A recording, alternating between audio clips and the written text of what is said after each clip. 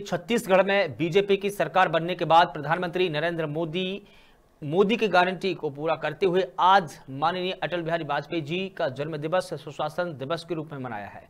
पूरे प्रदेश में सुशासन दिवस के दिन किसानों को दो साल का बकाया बोनस राशि का वितरण भी किया गया।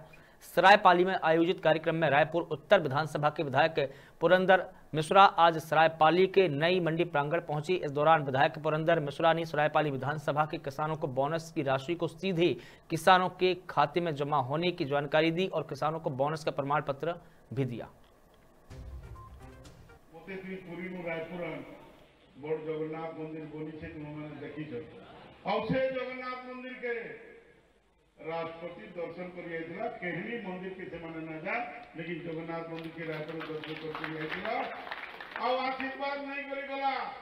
और दिल्ली जाई मते भी आशीर्वाद दे देला लगे, मते रायपुर टिकट मिली जगन्नाथ कृपा और जनता विपिन भाई कहूला से बहुत राति कथा प्रस्ताव था छत्तीसगढ़ के मुख्यमंत्री माननीय विष्णुदेव शाह जी के निर्देश पर आज मैं सरायपाली ब्लॉक में बोनस वितरण के लिए आए हूँ। लगभग दस हज़ार से भी अधिक किसानों को और सैतालीस करोड़ का जो बोनस पिछले दो साल का बाकी था, वो आज हम उसको ऑनलाइन ट्रांसफ़र कर दिए किसानों के हित की चिंता करने के लिए माननीय प्रधानमंत्री जी कटिबद्ध हैं। किसान खुशहाल रहे, उनका परिवार खुशहाल रहे।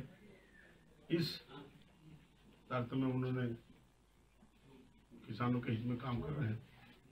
मैं सभी किसानों को धन्यवाद करता हूँ कि भारतीय जनता पार्टी की भावनाओं को समझ करके हमने योजना बनाई, उस गरीब के आँगन तक पहुँचा। हमने जो योजना बनाई, हर गाँव गाँव को सड़क माला की तरह जोड़ा आज कोई गाँव अधूरा नहीं रहेगा, उस गाँव तक वह सड़क पहुंचेगा। क्यों एक शहर विकास हो? क्यों एक गाँव पीछे हो? उस गाँव में भी